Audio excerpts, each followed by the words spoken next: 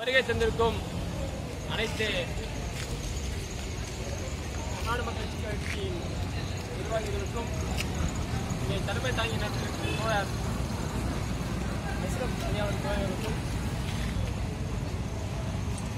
தமிழ்நாடு மக்கள் கட்சியின் தலைவர் அண்ணன் சி. இளையராஜா அவர்களுக்கும் மற்றும் மாவட்ட நிர்வாகிகளுக்கும் இன்று நம்ம இப்போ வெயிலில் நின்று கொண்டு இருக்கின்ற காரணம் என்றால் நம் மண்ணின் குறு மக்களுக்கு வீடும் இல்லை பட்டாவும் என்ற இல்லை என்ற ஒரு நிலை ஏற்பட்டிருக்கிறது. இதை பலமுறை மனு கொடுத்தும் இந்த தமிழக அரசு கண்டு கொள்ளாத ஒரு நிலையை செய்து கொண்டிருக்கிறது. காரணமாக இன்று நாம் அனைவரும் வீதியில் வந்து நின்று கொண்டிருக்கிறோம் இந்த தமிழக அரசுக்கு ஒரு அன்பான ஒரு வேண்டுகோளை விடுக்க கடமைப்பட்டிருக்கின்றோம். எட்டு வயசாலையாக இருக்கட்டும் மீத்தேன் போன்ற திட்டங்களாக இருக்கட்டும் விவசாய நிலைகளை அடிமட்டமாக அழைக்கக்கூடிய திட்டங்கள் எதுவாக இருக்கட்டும் இந்த தமிழக அரசு விரைந்து அந்த பணிகளை ஒரு வார காலமோ ஒரு மாத காலமோ செய்து முடிக்கின்ற செய்து முடிக்கின்ற வேலையை மட்டும் அவ்வளவு மும்முரமாக செய்து முடிக்கும். ஆனால் இந்த மன்னனுடைய பூர்வகுடிய மக்களாகிய ஐம்பது ஆண்டுகளுக்கு மேலாக சீதாபுரம் கிராமத்தில் இருளில் வாழ்ந்து கொண்டு வருகிறார்கள்.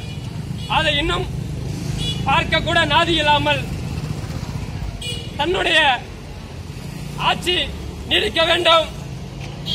அரசியல்வாதிகள் எப்படியாவது பிழைக்க வேண்டும் என்ற நிலையில் தன்னுடைய ஓட்டை வாங்குவதற்கு ஓடோடி வந்து மக்களை ஓட்டு கேட்கிறார்கள். அதுக்கு மட்டும் எங்கள் மக்கள் தேவைப்படுகிறது.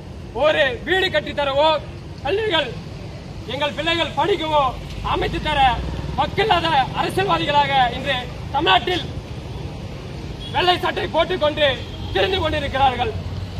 எனவே தமிழக அரசுக்கு ஒரு வேண்டுகோளாக எடுக்கின்றோம்.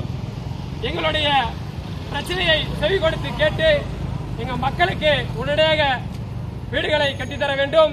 எங்கள் பிள்ளைகள் படிக்க வேண்டும். எங்களுக்கு பட்டா இருக்க- இருக்க இருப்பதற்கு இடம் பட்டா வழங்க வேண்டும். நாங்கள் அரசாங்கம் வழங்கக்கூடிய திட்டங்களை நாங்கள் பெற வேண்டும் என்றால் எங்களுக்கு எங்களுக்கு அடிப்படையாக சாதி சான்றிதழை எதுவுமே இல்லாத ஒரு நிலை அவல நிலை உள்ளது. எனவே அதனுடைய வழங்க வேண்டும்.